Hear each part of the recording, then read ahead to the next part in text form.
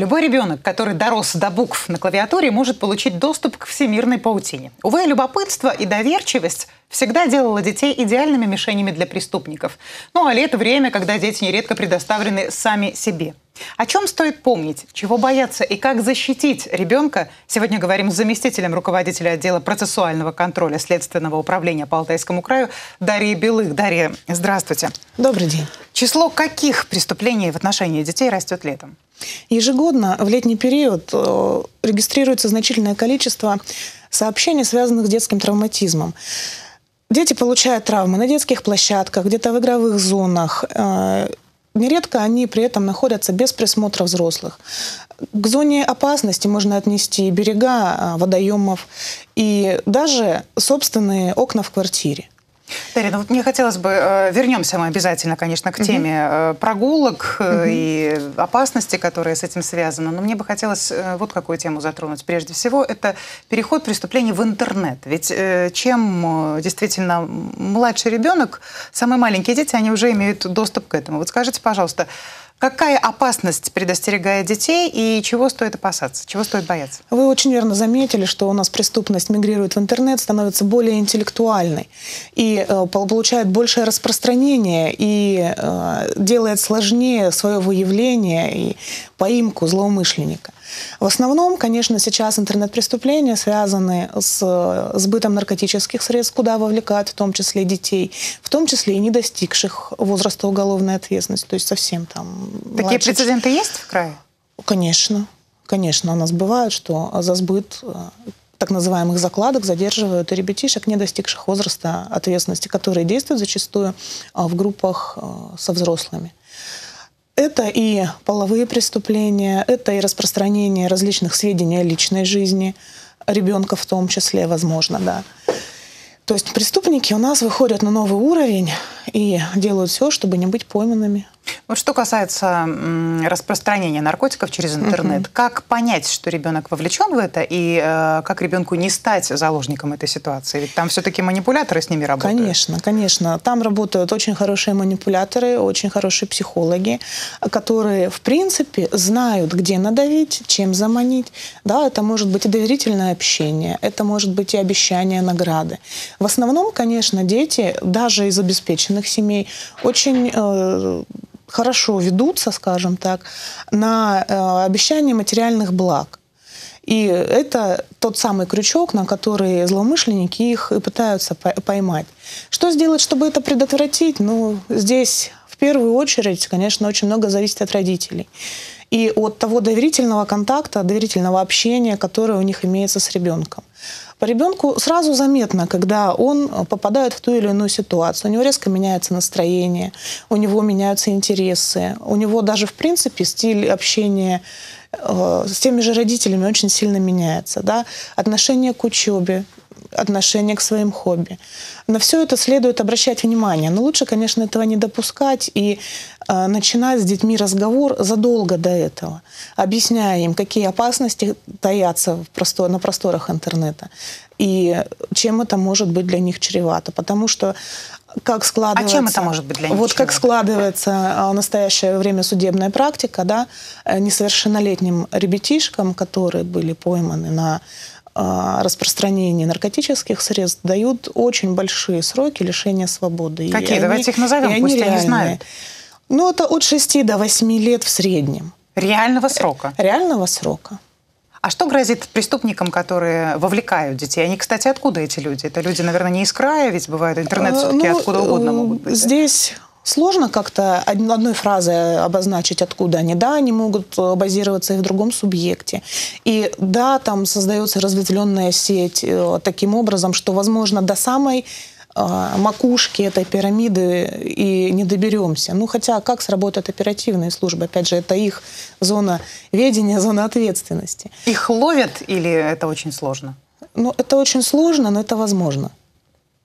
Скажите, пожалуйста, а вот недавно совершенно был случай, когда молодому человеку, можно, я бы назвала это баловство, которое в итоге угу. привело к реальному сроку. Молодому человеку дали 8 лет, насколько я помню, могу ошибаться, угу. за то, что он разместил фотографию, назовем так, эротического содержания своей сокурсницы или школьницы, не совсем трезвой девушки. Угу. 8 лет реального срока.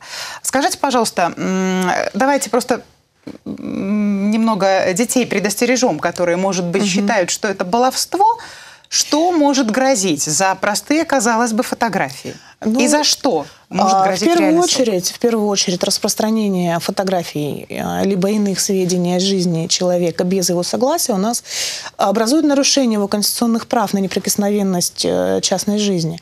Это, э, в принципе, у нас защищается Уголовным кодексом. Статья 137, она небольшой тяжести, но для начала в принципе, наказание уже может иметь место. Если же мы касаемся каких-то сведений интимного характера, это уже может квалифицироваться совершенно иначе по статье 242 а, прим, где наказание может э, достигать от 8 до 15 лет лишения свободы. То есть просто выложил фотографию в интернет? Просто распространил его, да, среди неограниченного круга лиц. Мне кажется, это то, о чем нужно помнить подросткам, Конечно. которые, когда балуются, раз и в Инстаграм. Да? А вот что касается закрытых групп, которые так громко шумели несколько лет назад, и сейчас подутихло, синие киты и им подобные. Действительно спала волна, дети перестали в них э, каким-то образом быть задействованы, или все-таки об этом замолчали? Скажите, как сейчас обстоит картина? Сейчас, э, в настоящее время, на самом деле эта волна спала.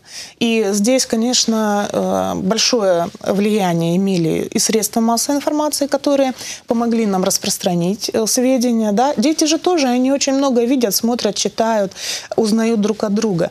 И они уже предупреждены об этой опасности. Есть, конечно, у нас периодически выявляют в социальных сетях группы депрессивного характера, но э, у нас в крае случаев, э, когда именно ну, по крайней мере, вот последний год и текущий год, случаев таких ну, не было. Чтобы конкретные задания, вот как в тех синих китах, по, по направленности конкретных действий. А что грозит, опять же, если уже мы говорим с вами как с э, представителем следственного управления, что грозит людям, которые открывают подобные группы и занимаются вот такой вовлекающей детей деятельностью? Ну, это преступление относится к категории тяжких. Категории тяжких. Ну, по срокам надо обратиться к первоисточнику. Скажите, пожалуйста, ведь часто дети просто боятся, оказываясь на удочке вот такого преступника, они боятся, естественно, рассказать взрослым. Вы уже немного сказали, как обратить, на что обращать внимание, да, это смена поведения. А как вести себя ребенку, если он хочет рассказать, но с другой стороны его запугивают, и он находится между двух огней, как ему себя вести, на что ребенок имеет право? Чем дольше ребенок молчит о сложившейся ситуации, тем она затягивается и усугубляется. Поэтому, если а, ребенку высказываются ну, посредством сети интернет, мессенджеров, какие-либо угрозы, распространением о нем информации, да, а, э, причинением ему либо его родственникам какого-то вреда, об этом незамедлительно надо рассказать самым близким людям. А ему говорят, бойся, мы тебя накажем, тебе будет то-то. Правильно. Здесь, опять же, включается родительский фактор фактор, когда дети должны, устан... Э, дети должны доверять своим родителям. У них должен быть абсолютный контакт, чтобы они знали, что при любом раскладе, при любой ситуации родители будут их поддерживать. Здесь только так.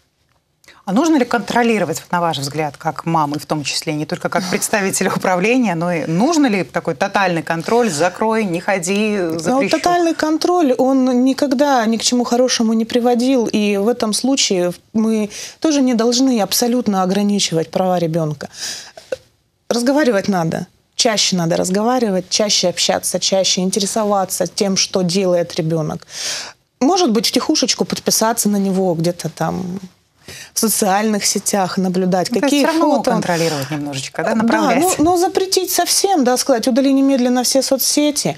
Я, конечно, не сторонник, чтобы ребенок там пропадал целый день, да, и в определенном смысле пытаюсь ограничивать время нахождения там, но запретить абсолютно этим пользоваться, ну, мы живем в век электронных э, телекоммуникационных И потом они ведь более продвинутые конечно, во многом, чем взрослые. Конечно. Они найдут анонимайзер, который вскроет конечно. доступ туда. Хорошо, а можно ли, я не знаю, на ваш взгляд, взгляд, как-то принять какой-то закон, быть может, что могло бы быть? Идеальная система, сейчас мы предположим, угу. которая могла бы э, ограничить ребенка от коротких сообщений и получишь быструю любовь, от э, каких-то входов на запрещенные сайты. Что должно быть в стране, чтобы наступил порядок в этой сфере? Да, вопрос на самом деле очень тяжелый, философский, да.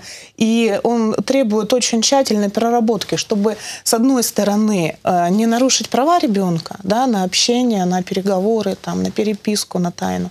Все равно он имеет на это право. А с другой стороны, чтобы оградить его от этой опасности. Как это сделать? Ну, технически, например, я себе очень слабо представляю. Как это закрепить законодательно? Ну, это вопрос у нас. Вопрос Закон... к законодателям, Вопрос к законодателям, конечно. Дарья, скажите, пожалуйста, есть ли в крае какие-то службы экстренной помощи, куда ребенок может обратиться и анонимно получить ответ на волнующий его вопрос касаемо нашей темы? А, у нас действует в Следственном управлении телефонная линия «Ребенок в опасности» короткий номер с любого сотового 123. Она работает в круглосуточном режиме. Можно э, ребенку, либо его родителю в случае возникновения опасности для несовершеннолетнего туда обратиться. И если даже этот вопрос не относится к нашей компетенции, он будет незамедлительно переадресован по подведомственности. То есть будут подключены иные правоохранительные органы. Кроме того, на базе правительства Алтайского края существует у нас телефонная линия по оказанию психологической помощи. Ну, можно посмотреть у них на сайте. И в настоящее время Следственным управлением прорабатывается вопрос, чтобы мы могли а, даже с нашей телефонной линии переключать туда, чтобы люди получали психологическую помощь. Поступают звонки туда от жителей края? К нам на телефонную линию да. поступают, но э, по существу поступают очень редко. Очень редко. А с чем это связано? Ну, действует она, в принципе, уже значительное количество времени. Но, наверное, все-таки пока у нас людям проще набрать 112 э, или 02 где... Может быть, просто не знают об этом номере Может еще. быть, просто не знают, хотя наши коллеги очень активно эту тему э, продвигают и транслируют в СМИ. Номер 123. 123 с любого мобильного телефона. Проще некуда, по-моему. Угу.